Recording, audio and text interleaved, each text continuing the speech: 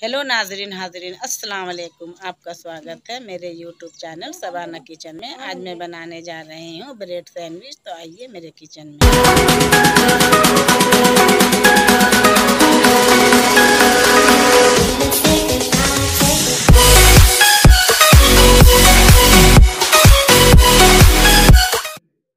बनाने के लिए हमें चाहिए एक मैगी मसाला, एक मीडियम साइज़ के प्याज कट कट किए हुए, एक टमाटर कट किए हुए, tomato sauce, chilli sauce, Amul butter, दो मीडियम साइज़ के प्याज कद्दूकस किए हुए, दो चिलीज, गाजर चॉप किए हुए, स्वाद अनुसार नमक, जीरा powder, garam masala, pepper powder और बॉयल आलू और एक पैकेट ब्रेड।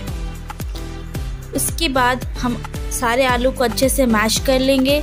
उसमें सारे वेजिटेबल्स को ऐड कर देंगे और जितने भी हमारे मसाला थे, वो सारे इसमें ऐड कर देंगे और उसे अच्छे से मिक्स कर लेंगे।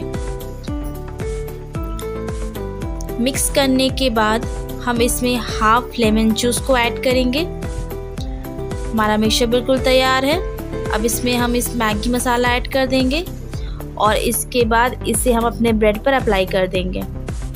तवे को अच्छे से गर्म कर लेना है। उसमें थोड़ा सा बटर ऐड करेंगे। उसके बाद हम अपने सैंडविच को इसके ऊपर रख लेंगे। सैंडविच को अच्छे से फिल करना है हमें। उसके बाद उसमें आलू अच्छे से फिल करना है। फिर एक प्याज और टमाटो स्लाइस को ऐड करना है। अच्छे से कवर कर लेंगे और इससे गर्म तवे पर हम रख लेंगे।